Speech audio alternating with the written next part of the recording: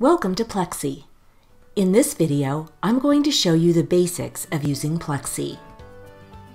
First, decide if you want to put your Plexie in the team area or the personal area. Team Plexies are automatically shared with everyone else in the workspace, whether you've created it or someone else did.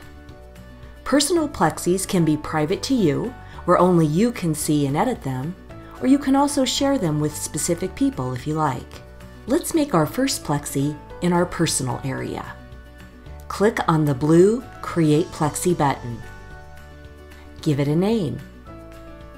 And click Create. You now have your new Plexie.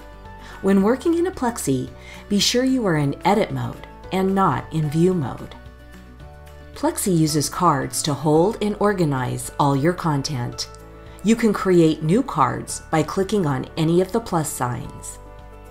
Move your cursor to the edge of the card and you can resize it. Grab the top of the card and move it. At the top of each card, you'll see icons that let you duplicate, delete, and change the background of the card. When I'm typing in the card, you'll notice the plus sign off to the side.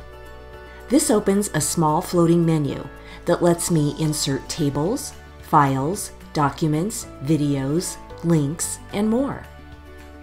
I can also highlight text, which opens another floating menu that provides a lot of different formatting options.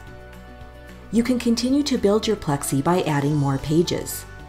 Click on the plus sign on the top menu and give your page a name. You can now work on this new page just like all the others. Now let's move this plexie to the team space. I go back to my personal area and click on the ellipsis on the right. I select Move and you see my entire workspace structure. I select the correct folder on Team Plexies. Notice I get a warning telling me everyone can use this Plexie once moved. I click Move and it leaves my personal area and goes to the Team Plexies area. Using these basic concepts will get you started.